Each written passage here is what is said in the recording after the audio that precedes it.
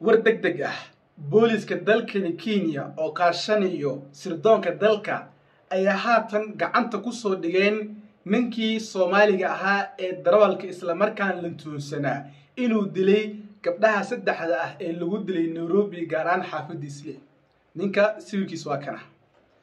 Sidoo kale booliska ayaa waxay soo daawaceen warqadan oo ay ku sheegayaan in gacanku dhiiglihii ay gacanta ku dhigeen waxaan rabaa mar koowaad shacabka soomaaliyeed inaan u hambaliyeeyo hambaliyo hambaliyo.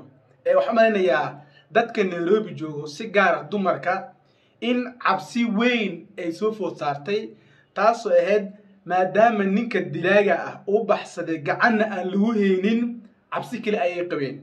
Maanta waxaad moodaa xogaha cabsidii in lagu guulgaaray oo runtii laamaha ammaanka shaqadii ay wadayna inay ku guulaysteen waxaan rabaa qodobkaas in si fiican u faaxiyo sidoo kale waxaan doonayaa inaan mawduucan ku darsado habeenimadii xalayna ka soo gudubna waxaa jirtay muuqaal ay leedahay gabarh soomaaliyeed oo guri intuu nin madow ugu tegay isagoo micnaha diliyo jirdiliyo dhibaateyniyo la arkayay. Muuqaalkaas wuxuu ahaa muuqaal runtii dareen gooni lah dadka soomaaliyeed siyaabo kala duwan bay uga hadlayeen. Gabadhii ma dhimatay mise waa ay nooshahay? Muuqaalkan ayaad micnaha ku dheehan doontaan. Waxaa kaa codsanaya haddii tahay markooda channelka aad soo boqotay inaad ku soo biirto ka mid noqoto kumanaan kun isla markaana igu xiran.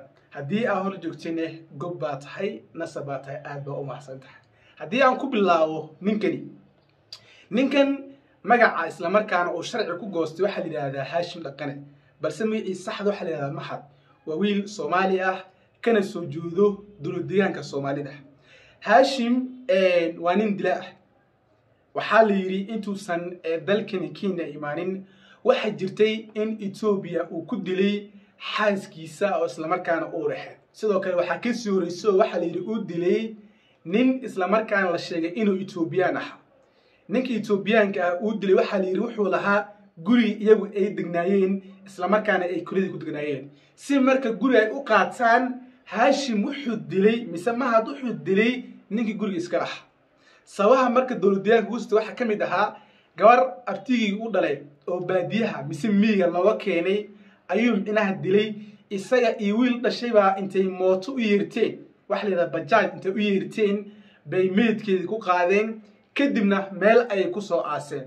Ninka marka darawalka ahaa ee mootada waday ayaa wuxuu booliska mise liyu booliska uu ku wargeliyey in nin uu jiro dila ah. Markuu xogtaas maqlay ayay isagu iyo sidoo kale hooyadii ay micnaha ka soo hayaameen dowladdeegaanka soomaalida sidaas ayuu kenya ku soo galay. Kenya markuu soo galayna? Magacii waa uu bedeshay sidoo kale hooyadii magaca ayay bedelatay wuxuu halkan ka bilaabay nolol cusub iyo dee shacab micnaha arrin kaloo gooni ah oo runtii ku salaysan in wax laga yaaba daliil kale xitaa uu soo geystay. Oo u dambeyntii marka kiiska gabadhaha la dilay saddexda ahaa waxaa loo soo qabtay dad tiro badan. Dhawaad toddoba qof ayaa loo soo xiray oo ay ka mid ahayd hooyada dhashay ninkan islamarkaana dilaaga ah waxaa marka dadkaad isweydiinayaan war haashim ha la soo qabto. Ninka darawalka ha la soo qabtee halkibaa laga soo qabtay waxaa laga soo qabtay nairobi gudida ayaa laga soo qabtay melias treze ayaa laga soo qabtay. Ninkan dowladda ay ku raad joogeen laakiin markii xag loo fiiriy waxaad moodaa dowladda juhdi tirada badnaa micnaha ay dee ku bixiyeen.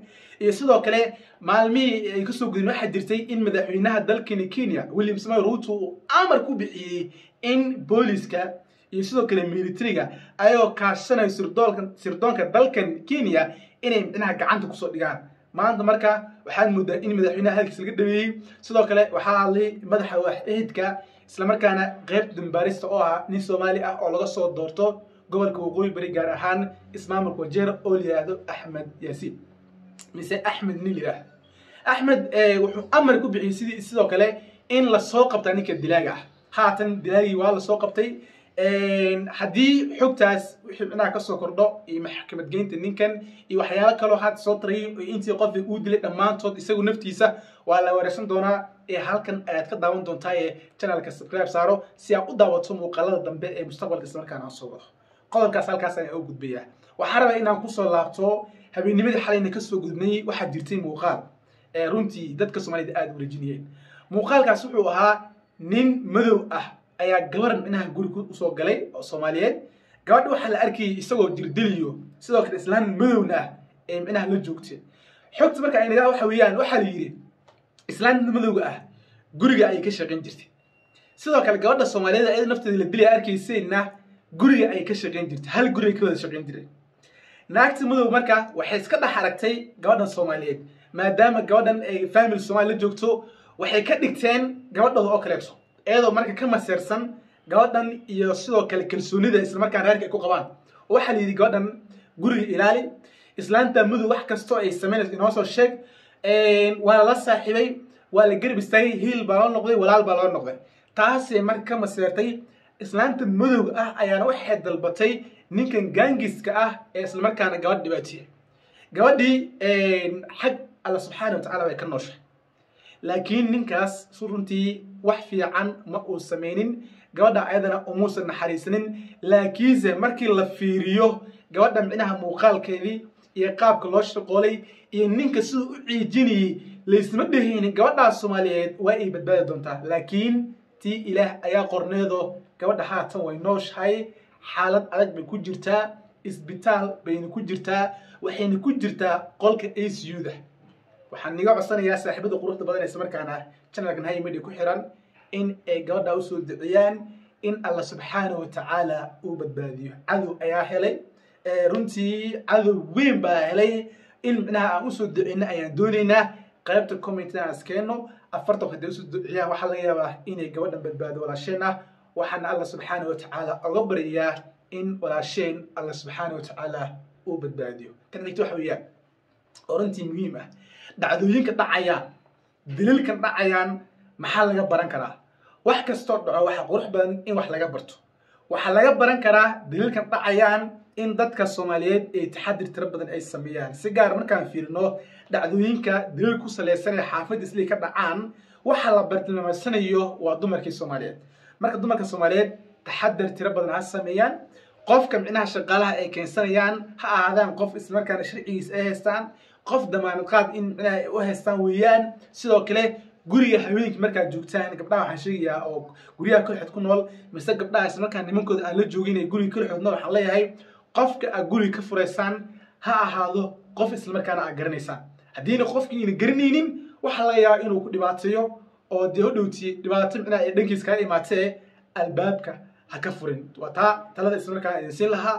Midda kale gabdhaha soomaaliyeed ee nimanka mise naagaha madowga aan dhehe keensanayaan maxay tahay olajoodkooda iyagu may shaqaystaan hoosh iyagu may qabsadaan.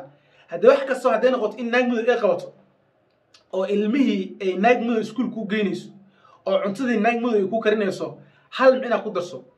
Madowgan qofka ay ku shaqaynayo haddii aad waxyar isku dhacdaan mise haddii aad xoogaa kaa dareemo colaa diriisa cadow ayuu kaa dhiganayaa waxaa laga yaaba in cuntada sun uu kugu daro waxaa laga yaabaa in cudurro uu qabo ismarkaan uu adiga kugu faafiyo sida micnaha habitat b haddii v ids cudurro badanaa jiraan oo isku daarto marka waxaa laga yaabaa inay nagu daartaan ilmaha sidoo kale aa u dhiibaysaan adheesaan iskuulka mise madrasada geeya islaan madow ah. Waxaa laga yaabaa inay ilmahaada gaari u dhigto. Haye dhibaatada soo kamaata marka ilmaha soomaaliyeed aad bay u diyacan yihiin waxaa leeyahay marka waalidiinow si gaara dumarow is ilaaliya inagu iska taxadara sidoo kale ilmihiinu ka taxadara muuqaalkan aad buu la dheeraa saaxib aan intan ku soo gowgeynaya hadday tahay marka waad channelka boqotaan ka hoosanaya si naxariis leh inaad ku soo birto ka mid noqoto kumanaan kunees markaan igu xiran. Haddii aanu joogteeni aad ayaa u mahadsantihi